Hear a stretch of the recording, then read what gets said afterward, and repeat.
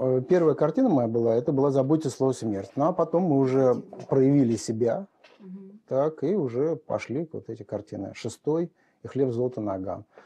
«Хлеб, золото, наган» я вообще считаю, что это, ну, как сказать, ну, фантастически насыщенная трюками картина. Так, причем они такие, такие интересные, оригинальные. И вот что вспомнить, так работалось удивительно легко. Удивительно легко работалось. Так, Сэмвелл такой человек, он как бы является соучастником процесса. То есть вот он ставит задачу, и мы там предлагаем несколько вариантов, и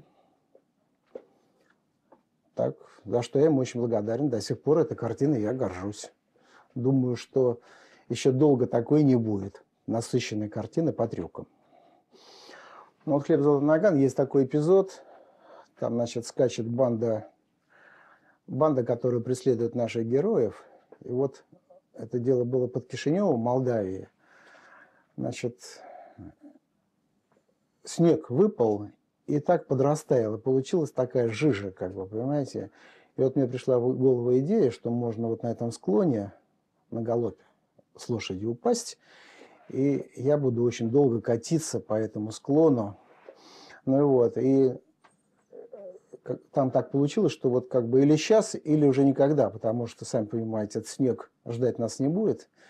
Очень быстро организовались, а так как у лошади хода были большие, там, значит, я падал, а параллельно мой товарищ Олег Корытин подсекал лошадь, так?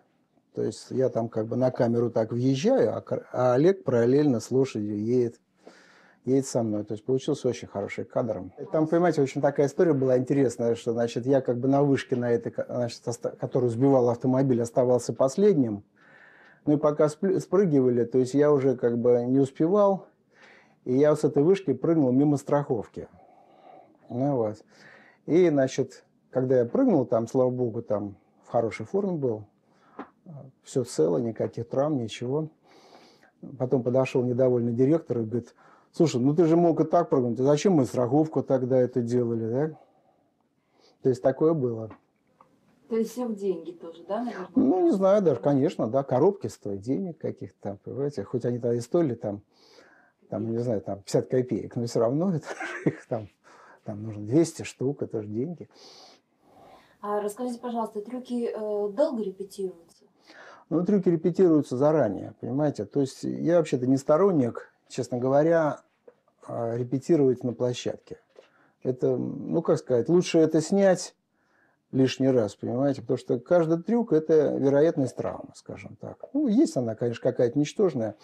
Причем травмы бывают там как бы двух, ну, нескольких видов, вот так вот скажем так. Первое – это когда человек неопытный, он получает травму. Потом, значит, как бы появляется опыт, такой образовывается такое плато – Потом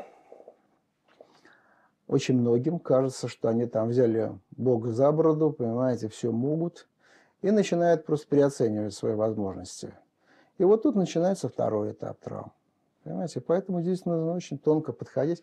А плюс к этому еще есть закон больших чисел. Закон больших чисел о чем говорит? Чем человек дольше живет, тем больше шансов, что он умрет. Правильно, да? Так вот в кино. Чем больше, допустим, трюков делаешь, даже вот если ты идеально все делаешь, вероятность какой-то случайности нарастает. Причем она нарастает в такой... И вот по этому поводу у меня есть там некоторые способы, как это обойти. Когда-то надо полениться после кино, там, понимаете, у меня вот раньше были такие способы, там, приехать и после картины неделю полежать на диване. Там, понимаете, это очень, очень полезно.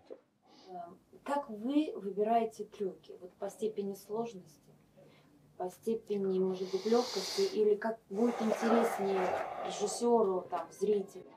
Ну, знаете, там вообще на самом деле как-то какое-то количество их прописано так, в сценарии. Так? После этого значит, постановщик трюков, который как бы является режиссером вот этого короткого эпизода, так, должен встретиться с режиссером, так, определить количество, что, что мы хотим, что мы хотим увидеть, что мы там, там и так далее. Так? Когда с режиссером это оговорено, начинается самый тяжелый эпизод. это беседа с директором, там, которому вообще бы лучше, вот я так всегда так замечаю, что вот директора, ну, в большинстве случаев, вообще бы лучше этого кино не было, понимаете, деньги были бы целее, потому что каждый трюк стоит каких-то сумм, каких-то там, даже не говорю гонорар исполнителю, а там нужно достроить и это, при, сделать и это, там, подготовить то, понимаете, и тут от режиссера очень много зависит, насколько он хочет, насколько, там, понимаете, потому что вы так, бывает людям вообще там на все наплевать, там, понимаете, вот он режиссер, там, что будет, то и будет. А вам вот э, интересно работать с таким режиссером, который наплевать, что будет? То будет лишь бы вот человек... Да нет, конечно, так, но с другой стороны, понимаете, надо к этому относиться. Я там, вот, когда начинал этим заниматься, у меня такая была очень такая, знаете, трепетность кино, что умрем сейчас до единого, там, понимаете, за, за лучший кадр, там, понимаете. Ну, я женат, у меня двое детей, там, понимаете, я могу там в такой позе там, великого мастера там 10 лет, и никто меня не снимет, понимаете? Поэтому, ну, если режиссер это устраивает, сделаем так.